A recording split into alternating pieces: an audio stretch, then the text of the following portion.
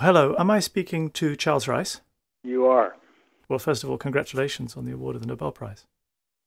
Well, I am uh, absolutely stunned. Um, I guess when you get it, when you get a call like this, uh, and you're not expecting it, pretty much don't know what to say. But uh, this is uh, really a, a, a big surprise. Not not the fact that hepatitis C is being you know sort of recognized.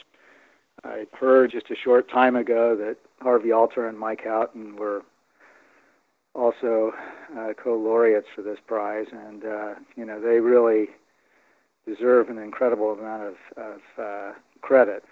I, I feel as though I'm just kind of a representative of the, uh, the sort of molecular virologist community that um, contributed something to, to this uh, fight against this disease. I mean, it's a beautiful story of a kind of chain of discovery over a long period of time. People, ha- one, one person handing to the next, one team handing to the next. It's how science should work, isn't it?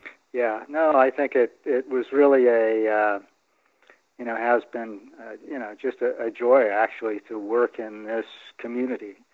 Um, I think people have been, you know, very generous, um, you know, sort of with ideas and reagents, and uh, you know that together with the, you know, input of biotech and pharma, um, finally sort of came to the finish line in terms of you know, developing these drugs that are so effective that we have today. Now, we still have some challenges in terms of making sure that everybody that needs them gets them and and uh, gets treated. But it, it is, I think, um, a success story for you know sort of biomedical science and team science, and we're seeing uh, really a, an amazing um, follow-up example of that uh, with the pandemic. And the, the number number of groups that have stepped up to the plate to to work on SARS-CoV-2 and um, you know the the pace at which um, new discoveries are being made, and I hope will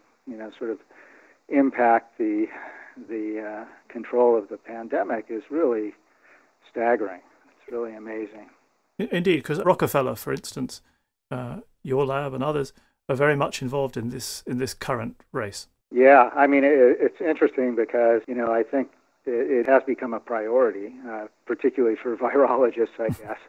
but um, no, it, it, this this week we are sort of preparing some you know papers that we hope to get submitted on various aspects of coronaviruses that we've been uh, really spending a lot of attention on over the last six months, and um, as I said, the activity around the world on this virus is, you know, breathtaking. Um, yeah.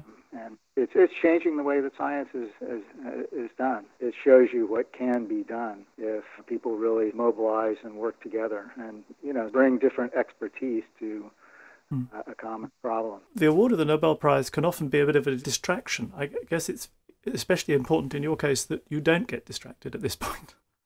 Well, yeah. I mean, uh, this this does come as a, a, a bit of a distracting influence, I suspect. Um, maybe not quite as much as it would under normal circumstances. I'll probably shortly be sending an email to the group, you know, sort of working on these subjects and papers to tell them to, you know, keep it up. well, yes, I guess it, it's an extra it's an extra boost for all virologists, everyone working on viruses around the world, that viruses are again recognized by the prize. Yeah, and I guess, you know, that's the other thing that, you know, we don't sort of engage in these activities to win prizes. Um, mm, mm, indeed.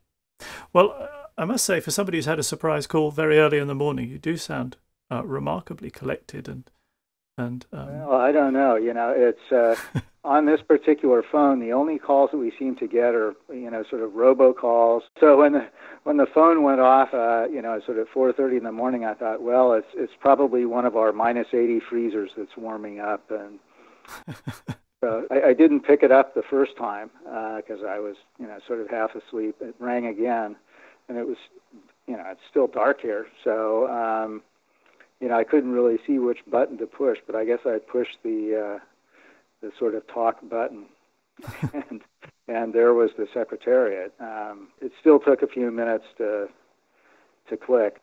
Well, I look forward to speaking again and greater length. But uh, for now, congratulations and thank you for the call. Okay, thank you, Adam. Okay, Thank you. Take care.